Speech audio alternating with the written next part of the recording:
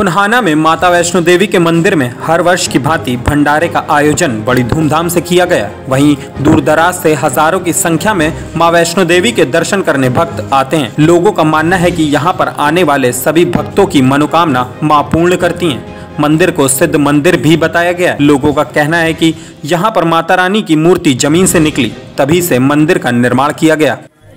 ये किस उपलक्ष्य में भंडारा किया जा रहा है? आज माता जी का जन्मदिन है इसलिए भंडारा किया जा रहा है। हर साल यहाँ धूमधाम से भंडारा मनाया जाता है। है कितने टाइम से बना हुआ है? इसे कम से कम होगी तीस साल। जी। कितने लोग यहाँ पे आते हैं भोग देने के लिए?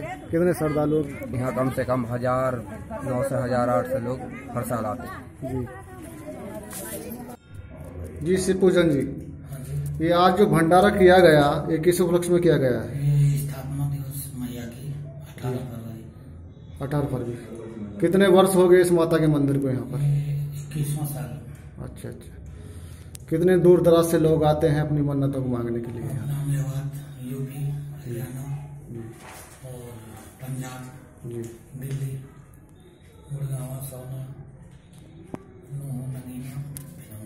हरियाणा के पुन्हाना से केकेडी न्यूज़ संवाददाता संदेश कुमार की रिपोर्ट।